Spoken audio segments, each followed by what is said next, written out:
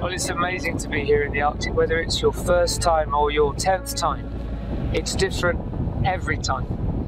For me as a historian, I read so much about four, 500 years of history, but to travel on a ship in the wake of these great explorers, in search of this elusive point in the North Pole, and to be able to step on the sea ice, to drink in the wild air, remember the historical stories, but just to be in this incredible wilderness, well, that's a real privilege that gets better actually each time you do it.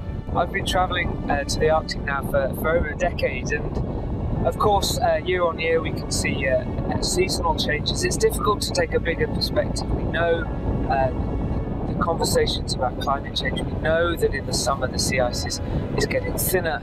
Um, the most obvious change for me on ships and expeditions like this is the type of people coming. Year on year, adventurous people, but increasingly people from a wide range of nationalities. We stand here at the North Pole today with people from 18 different nations Europe, North America, China, Russia, all united with the ambition to stand at this most northerly spot uh, and to celebrate uh, the special nature of this place and to think a little bit more about when we go home, the things maybe we can change our lives.